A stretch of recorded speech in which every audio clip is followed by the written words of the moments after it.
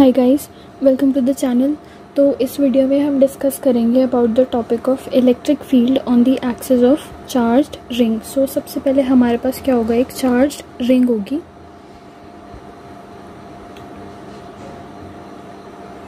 ये circular ring है। हम इसको ऐसे एंगल पे देख रहे हैं। इसलिए हमें ये ओवल शेप में दिखाई दे रही है। ठीक है? ये इसका सेंटर होगा। ओ हम मान लेते हैं इस रिंग का जो रेडियस है, वो है कैपिटल आर।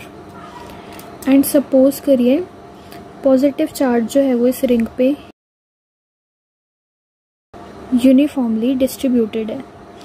अब एक्सेस जो रिंग की होगी वो ये होगी, ठीक है? इस एक्सेस पे कोई भी पॉइंट पी है, इस पॉइंट पी पे हमें इस रिंग के ऊपर जो चार्ज है, इस चार्ज की वजह से जो नेट फ़ील्ड लग रही है उसे कैलकुलेट करना है। तो हम कैसे करेंगे? हमेशा की तरह हमें क्या करना है? सबसे पहले एक स्मॉल लेंथ डीएल कट करनी है। स्मॉल लेंथ डीएल पे स्मॉल चार्ज होगा डी क्यू मान लेते हैं इस ओवरऑल रिंग पे कैपिटल क्यू चार्ज है।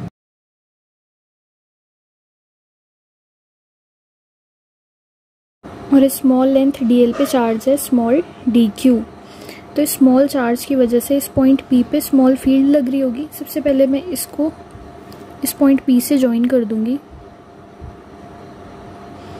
ओके अब फ़ील्ड जो होगी वो रेडियली ऐसे आउटवर्ड लग रही होगी। स्मॉल फ़ील्ड होगी डी ई ओके मान लेते हैं कि ये पॉइंट पी के साथ ये लाइन एंगल थीटा से टेंड कर रही है। ओके तो अगर ये एंगल थीटा होगा तो ये एंगल भी थीटा होगा, क्योंकि दोनों वर्टिकली ऑपोजिट एंगल्स हैं। अब ये डी ई कॉम्पोनेंट है। थीटा की डायरेक्शन में इसका एक कॉम्पोनेंट होगा डी ई कॉस थीटा और इसके 90 डिग्री के एंगल पे इसका कॉम्पोनेंट होगा D E sine theta right components में हमने पहले भी तोड़ा हुआ है राइट right? फील्ड्स को। तो ये हमारे लिए इजी पार्ट है करने के लिए क्योंकि हम बहुत बार कर चुके हैं। अब सिमिलरली हमें क्या करना है? जैसे हमने यहाँ पे एक स्मॉल लेंथ डीएल कट की थी, हमने यहाँ पे भी एक स्मॉल लेंथ डीएल कट करनी है जिस पे स्मॉल चार्ज है डी क्यू ये भी एंगल थीटा ही सबटेंड कर रही है पॉइंट पी पे, जैसे ये लेंथ जैसे ये लेंथ कर रही थी डी एल तो ये भी एंगल थीटा ही होगा। इस स्मॉल चार्ज डी क्यू की वजह से पॉइंट पी पे स्मॉल फ़ील्ड होगी डी ई राइट ये एंगल थीटा है तो ये भी थीटा होगा। वर्टिकली अपोजिट एंगल्स हैं ये दोनों तो ये भी थीटा होगा। आई होप इतना पार्ट क्लियर है आप लोगों को। कि सबसे पहले हमें यहाँ पे small length D L cut करनी है, जिसमें चार्ज डी क्यू होगा। इस स्मॉल चार्ज की वजह से इस पॉइंट पे स्मॉल फ़ील्ड लग रही होगी डी ई इस डायरेक्शन में रेडियली आउटवर्ड क्योंकि पॉजिटिवली चार्ज है। इसके कंपोनेंट्स होंगे थीटा की डायरेक्शन में डी ई कॉस थीटा और perpendicular D E sine theta similarly हमें यहाँ पे भी एक लेंथ कट करनी है स्मॉल लेंथ डी एल जिसमें स्मॉल चार्ज होगा डी क्यू स्मॉल चार्ज की वजह से भी इस पॉइंट पी पे कुछ फ़ील्ड एक्सपीरियंस हो रही होगी डी ई इसका थीटा की डायरेक्शन में कंपोनेंट होगा डी ई कॉस थीटा और 90 डिग्री पे होगा इसका component D E sine theta जैसे हमने ये दो कंपोनेंट्स बनाए सिमिलरली हम बहुत सारे ऐसे दो कॉन्जेकेटिव कंपोनेंट्स बना सकते हैं। तो हर कंपोनेंट में हमें यही कुछ, ऐसे ही कुछ देखने को मिलेगा। जिसमें ये जो साइन थीटा वाले कंपोनेंट्स होंगे, एक दूसरे को कैंसिल आउट कर रहे होंगे, और जो नेट फ़ील्ड होगी, वो हमें मिलेगी इन कॉस वाले कंपोनेंट्स की वजह से जो एडअप होके हमें नेट इलेक्ट्रिक फ़ील्ड देंगे राइट तो बेसिकली जो हमें डी ई मिलता है डी ई क्या होगा हमारा? वन बाई फोर पाई अब epsilon nought charge by distance square तो हम मान लेते हैं डिस्टेंस कितना है इस चार्ज का इस पॉइंट पी से? मान लेते हैं स्मॉल आर है। और पॉइंट ओ का पॉइंट पी से जो डिस्टेंस है हॉरिजॉन्टल डिस्टेंस हॉरिजॉन्टल डिस्टेंस है स्मॉल एक्स राइट सो यहाँ पे जो डिस्टेंस आएगा वो ये वाला आएगा वो होगा स्मॉल आर स्क्वायर तो अब मैं D E is equals to ये one by four pi epsilon nought को अब मैं आगे से के ई लिखूँगी जस्ट फॉर सिंप्लिसिटी तो ये हो जाएगा K E by K E into D Q by R square और हमने क्या डिस्कस कर लिया कि जो नेट इलेक्ट्रिक फ़ील्ड आएगी हमारे पास, वो होगी सिर्फ़ इन कॉस कंपोनेंट्स की वजह से, क्योंकि साइन कंपोनेंट्स एक दूसरे को कैंसिल आउट कर रहे होंगे। तो हमारे पास ई e नेट जो आएगी, वो आएगी integration of D E cos theta components सारे कॉस थीटा के कॉम्पोनेंट्स को अगर हम इंटीग्रेट कर देंगे तो हमारे पास नेट इलेक्ट्रिक फ़ील्ड आ जाएगी।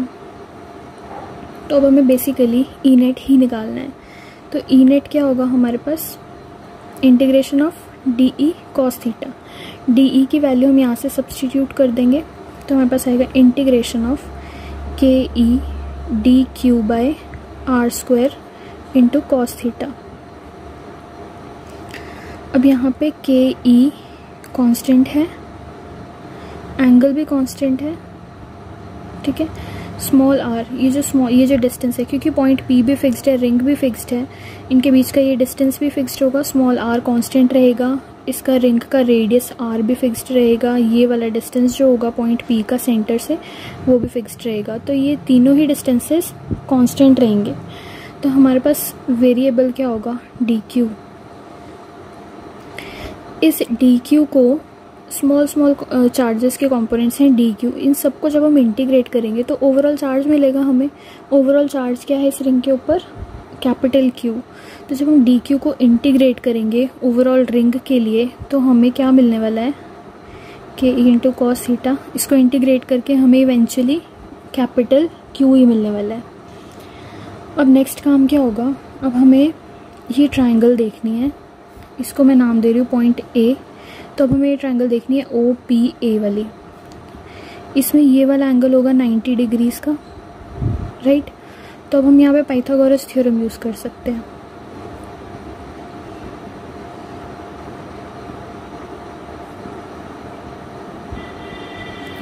तो using Pythagoras theorem hypotenuse square is equals to perpendicular square plus base square तो यहाँ से आर की वैल्यू आ जाएगी हमारे पास root under R square plus X square right और एक और चीज़, इसी ट्राइंगल में कॉस थीटा की जो वैल्यू आएगी वो आएगी X by R right cos theta की इस वैल्यू को हमें यहाँ पे सब्सटीट्यूट करना है तो ये आ जाएगा K E into X by R into Q अब हमें क्या करना है? आर की वैल्यू हमें यहाँ से सब्सटीट्यूट करनी है, यहाँ पे, ठीक है? तो हमारे पास क्या आ जाएगा? K E into X into Q by R square plus X square root under okay okay हम आर स्क्वायर को तो बाहर निकालना भूल ही गए हमने डिस्कस कर लिया कि कांस्टेंट है, पर हमने कांस्टेंट को बाहर नहीं निकाला। तो ये आर स्क्वायर यहाँ पे आएगा राइट हर जगह पे होगा यहाँ पे आर स्क्वायर तो आर स्क्वायर इंटू आर क्या हो जाएगा? आर क्यूब इसको यहीं पे बढ़ा देते हैं। K E into X into Q by R cube right अब आर की वैल्यू हमने डाल दी root under R square plus X square इसकी क्यूब है तो इसकी पावर में थ्री आ जाएगा right I hope this is clear कुछ नहीं किया हमने. आर स्क्वायर इंटू आर कितना हो जाएगा? आर क्यूब आर क्यूब में हमने बस स्मॉल आर की वैल्यू जो है वो यहाँ पे सब्सटीट्यूट कर दिया है, ठीक है? इस वैल्यू को यहाँ नहीं, यहाँ पे सब्सटीट्यूट कर दीजिए, ठीक है? आर की वैल्यू हम यहाँ पे ये डाल देंगे. जस्ट ये वाला एक्सप्रेशन इसमें चेंज हो जाएगा। जब हम स्मॉल आर की वैल्यू ये डाल देंगे। अब हमें क्या करना है? K E into X into Q divided by root का मतलब क्या होता है? पावर में वन बाई टू तो हो जाएगा R square plus X square की power one by two whole to the power three तो हो जाएगा R square plus X square to the power one by two whole to the power three अब हमें क्या मिल जाएगा? E net is equals to K E into X into Q by R square plus X square one by two multiplied by three power में आ जाएगा three by two right तो ये हमारे पास ई नेट आ जाएगा। तो जस्ट हमने कुछ नहीं किया। ई नेट हमें पता था वो क्या है? Integration of cos components of electric field तो हमने क्या किया है? डी ई की वैल्यू यहाँ पे सब्सटीट्यूट की। देन हमने कॉस थीटा की वैल्यू यहाँ पे सब्सटीट्यूट की देन हमने आर की वैल्यू स्मॉल आर की, ये वाली जो वैल्यू हमने यहाँ से फाइंड आउट की थी, उस वैल्यू को हमने यहाँ पे सब्सटीट्यूट कर दिया, यहाँ पे। बस कुछ नहीं किया पावर्स को मल्टीप्लाई कर दिया ई e नेट की वैल्यू हमारे पास आ गई है। ये हमारे पास नेट इलेक्ट्रिक फ़ील्ड आई है, इस पॉइंट पी पे right due to this charge ring अब हम नेक्स्ट वीडियो में डिस्कस करेंगे कुछ स्पेशल केसेस उन स्पेशल केसेस में क्या होगा? अगर ये पॉइंट पी बहुत फार अवे हो तो अगर ये पॉइंट पी इस पॉइंट ओ पे कोइंसाइड कर जाए तो और भी बहुत, और एक और केस होगा हमारे पास कि मैक्सिमम फ़ील्ड इंटेंसिटी किस पॉइंट पे मिलेगी? कहाँ पे मैक्सिमम फ़ील्ड एक्सपीरियंस हो रही होगी? ये सब कुछ भी हम नेक्स्ट वीडियो में डिस्कस करेंगे। तो आई होप ये वाला पार्ट आपको क्लियर हो गया है। नेक्स्ट वीडियो इसी की कॉन्टिन्यूएशन होगी, जिसमें हम इसके स्पेशल केसेस को डिस्कस करेंगे। आई होप ये वीडियो आपके लिए हेल्पफुल रहा होगा. So so far that's it for this video thank you so much for watching